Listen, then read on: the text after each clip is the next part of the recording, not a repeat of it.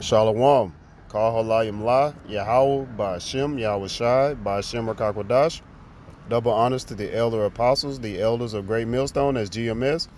Peace and blessings to the a few Agwath across the four winds. It's your brother Ba Thamayam from Great Millstone, Houston, coming to you with a quick lesson. Now, I don't want to say the big thing, but some recent that's been going on is um, these cheap cheeseburgers that's been coming out. You know, they're it's it's a national day for just about everything nowadays. But National Cheeseburger Day, you know, you have burgers from between one cent up to a dollar. But hey, I wouldn't eat it if I was you. You know, the prophets have been giving you warning. You know, about indulging in you know Esau Edom, which is a self-proclaimed white man, and his uh, you know, his wicked ways with these food. You know, uh, but the title here is from Fox Business McDonald's, Wendy's, and other fast food chains offering National Cheeseburger Day deals for as low as one cent. Wendy's Wendy's is offering a one cent cheeseburger with the fast food chains app. And another way they try to get you to is through these apps. They try to get you a lot of, you know, perks and things like that so that you can come back and indulge, you know, in, in this. I, I, I hate calling it food because it's not even really food. But I had a few precepts that I wanted to bring out. You know, Lord willing, this is edifying to the hopeful elect. Second Esdras chapter 16, verse 21. Behold, victuals shall be so good cheap upon earth that they shall think themselves to be in good case, and even then shall evils grow upon earth, sword, famine, and great confusion. Now, when you go into victuals, that's pretty much you know, your everyday essentials, you know, food, water, gas, etc. and etc. But, you know, that's real cheap to have a one cent, you know, even though they had, you know, dollar double cheeseburgers and things like that at McDonald's, but one cent, five cent, fifty cent, you know, for burgers.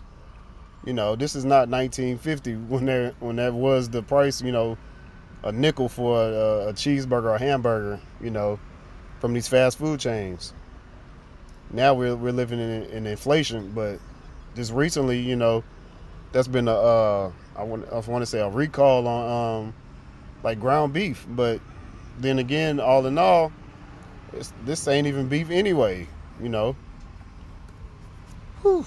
I seen a um, a video where you know you had a rabbi, he was going in and he was saying how McDonald's is serving you know human you know I'll say human meat mixed in with I guess ground meat or whatever. But at the end of the day, you know, people, if you eat McDonald's, then you're pretty much a cannibal. But the ending of the precept is, and even then shall evils grow upon earth. You know, it's bad times. I seen a clip. Uh, I believe it's you know TikTok or whatnot, but social media. Dude, he ate one of these burgers, or a couple of them, but he said he was in the restroom for like two hours, you know. Hey, that's a bad time. You know, if you're in the restroom, you know, taking a dump, you know, getting rid of your dung for two hours, and uh, hey, that's a that's a very bad time. Swore. Also, you have uh, Kill Gates. He's buying up a lot of farmland. So what he's doing is, you know, they're implementing that uh, that big pokey inside of you know these foods. You know, they have different plants, and then they even have like fruits for the uh, appeal and things like that. So that's part of the sword. You know, these things are, are to depopulate, you know, the population. The Georgia Guidestones say they want to get it to down to like what 500 million people when there's like 8 billion on the earth. So hey, they got to get rid of people somehow, some way. Also, famine. We already in a famine because they're not even using real meat. So it just goes to show you that we are in a famine. They're having lab grown meat, 3D meat, you know, all kind of meats that have no nutrition. And great confusion. People are really confused. You have a lot of you so-called Negroes, Latinos, and Native Americans, which make up the Israelites, doing videos while eating these cheap-ass burgers. And most of you are out of shape anyway. You're not supposed to be consuming that stuff. You know, like uh, the brother, the head brother in KC said, eat the best of the worst. I believe it was either him or Elder Yashawamba, but one of those brothers said, you know, we got to eat the best of the worst. And that's something that our elder apostles push, you know. is would be real big on your diet, you know, on your health, especially going into these days, you know, going into fasting. But a couple more precepts and I'll close it out. I don't want to drag this one out too long. Sirach or Ecclesiasticus chapter 12, verse 10. Never trust thine enemy, for like as iron rusted, so is his wickedness. So never trust your enemy. You know, they got these one cent burgers, 50 cent burgers, or a dollar burgers. Hey, you can't trust your enemy because you don't know what they're putting inside of those meat. But if you don't have, you know, the knowledge to know who your enemy is, then you'll be destroyed. Hosea chapter 4, verse 6. My people, you Israelites, you so called Negroes, Latinos, and Native Americans, are destroyed for lack of knowledge. Because thou hast rejected knowledge, I will also reject thee. That thou shalt be no priest to me, seeing thou hast forgotten the law of thy power, Yahweh by Shem Yahweh Shai, I will also forget thy children. So you you know you wicked niggas, you know you're gonna be destroyed. And that goes for both men and, and female, male and female. You know you so-called Negroes, Latinos, and Native Americans, y'all keep eating this BS, you're gonna end up in the spirit world. The Lord is, you know, re- reject since you're rejecting the knowledge from the prophets. You know the Lord speaks through the prophets the Lord is gonna reject you, and then ultimately you're gonna be ejected into the spirit world. You can go talk to the, you know, Yahweh Shem Shai about you know your being wicked and, and being hard headed and stiff necked, you know, from not listening.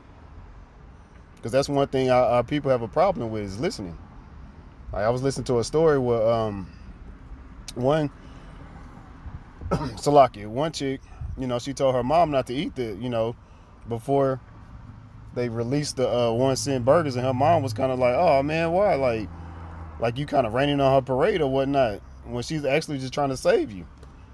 But you know, the older generation is definitely not gonna listen. You know, they're definitely hard headed. But hey, they have piss poor diets anyway, so they so used to eating pork, shrimp, crab, lobster, and other abominable foods that hey, they don't see nothing wrong. They believe in Esau eating because they don't know who their enemy is. They don't know the self the self-proclaimed white man is their enemy. So therefore they're gonna follow his ways. And therefore they're gonna receive the same consequence as their um, wicked counterpart.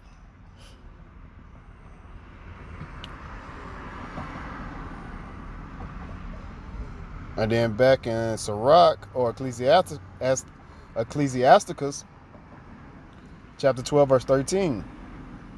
Who will pity a charmer that is bitten with a serpent, or any such as come nigh wild beasts? So when you have a snake charmer, what he does is plays a, a flute or an instrument, you know, to kind of soothe the, the, the king cobra. You know, he'll pop out a little a little bin or whatnot. He's moving to the music, but at some point, you know, that that snake is gonna uh, bite you. You know, that serpent is gonna bite you you know they're gonna uh, insert their poison inside of you, and ultimately you're gonna die. So how much more if you going out here biting into these burgers, you know, that's filled with poisons? If you die, we're not gonna have no pity among you because you've been warned on multiple occasions. You know, brothers are constantly doing lessons, and I know a lot of brothers have done lessons on this. You know, this National Cheeseburger Day. But hey, you have to know who your enemy is. Then the last precept I have is Psalms chapter 55, verse 21. The words of his mouth were smoother than butter, but war was in his heart. His words were softer than oil, yet were they drawn swords. So he's going to talk to you nice, like, hey, it's National Cheeseburger Day. You know, it's only one cent. You know, it's 50 cents, it's 25 cents. But it's war and it's art. And when you go into war, you got to have casualties. You know, someone has to be unalive. So in his mind, he, he's trying to reduce the population to 500 million. And a good way is to, as the kids say, you know, finesse. You know, finesse these people that don't, that don't know, you know, that don't have any knowledge of whom their enemy is. But that's all that I had on this lesson. Lord willing, it was edifying and exhorting. Call Layim La, Yahweh by Shem, Yahweh Shai, by Shem Rakakwadash. Double honors to the elder apostles, the elders of Great Millstone as GMS. Peace and blessing to the Akim and the few Akwat across the four winds. Shalom and a Baba Ball.